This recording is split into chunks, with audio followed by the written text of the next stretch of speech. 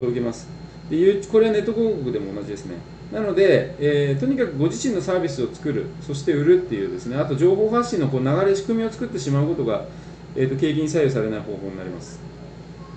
えー ASP の選定ですね、えー ASP っていうのはアアフィリエイトサービスプロバイダーですね、えー要は A8 ネットとかインフォトップとか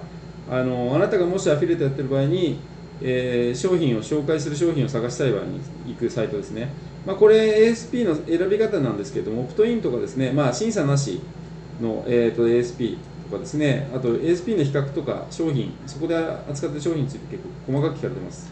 で、まあ、海外移住ご希望の方なんですねこの方も。えーまあ、審査なしのものっていうのは選んでもいいんですけども、えーとまあ、結構あの紹介したいものほど審査があったりとかそして審査一番困るのが審査を出してですね全然連絡来ないとかあるんですよね。なので、まあ、アフィリエイトっていうのは僕はどっちかというと最初に